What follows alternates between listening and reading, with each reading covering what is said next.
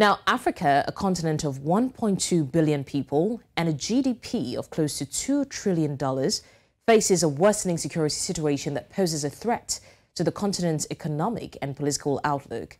Against the backdrop of these challenges, African governments believe the continent is disadvantaged by the current setup for global security and have called for a reform of the United Nations Security Council permanent members to a more representative global council that works for the interest of the whole world, including Africa.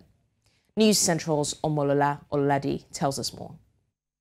Africa is a huge continent with a lot going on at any point in time. The past year has not been different. There has been good news and more than a fair share of bad news. While several countries have been able to maintain stability by holding elections in 2022 and 2023, others faced challenges that threatened to derail those efforts.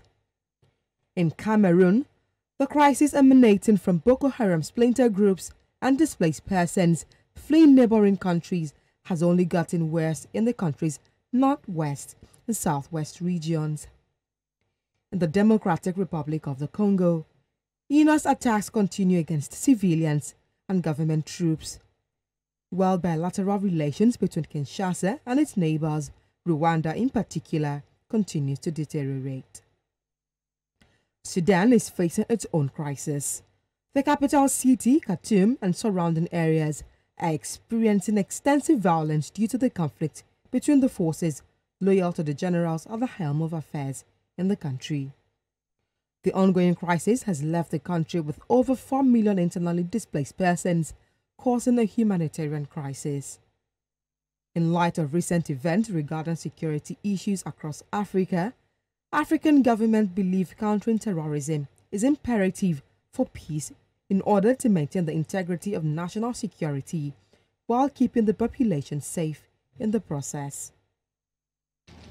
To stress on the fact that the shared nature of threats emanating from terrorist and extremist groups in West Africa, in light of the happenings in the world at the moment, demands the enhanced collaboration of all security actors within the region and of the Security Council. I called on the Council to be preemptive rather than reactive in helping to address the underlying causes of instability on the continent and in the Sahel, and thereby help meet the aspirations of our youthful populations who can help our continent to become great and strong. While international bodies are making effort to help curb the security challenges in Africa by leading counterterrorism exercises in West Africa. Security experts fear that the situation may get worse since thousands of French troops were forced out of Mali and Burkina Faso. They urge coastal countries to pool effort to contain the Islamist insurgency in the Sahel, which has been spreading for over a decade.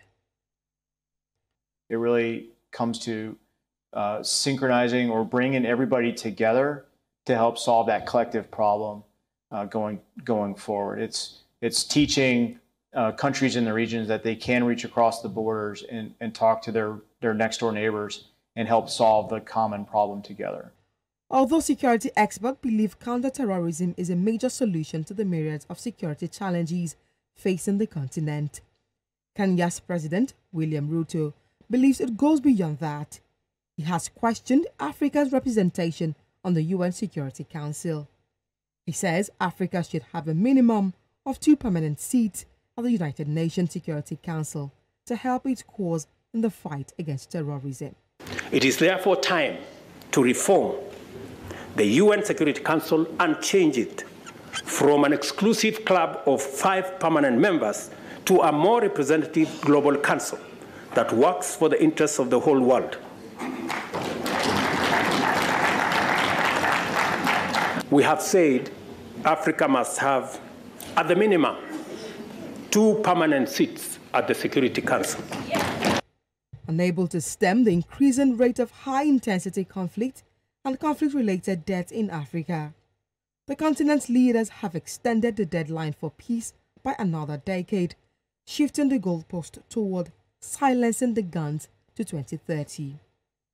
However, Many believe meeting this new deadline may remain a mirage unless the region vigorously adopt a continental approach to security promotion that strengthens ownership of both national security and the development agenda for lasting peace and prosperity.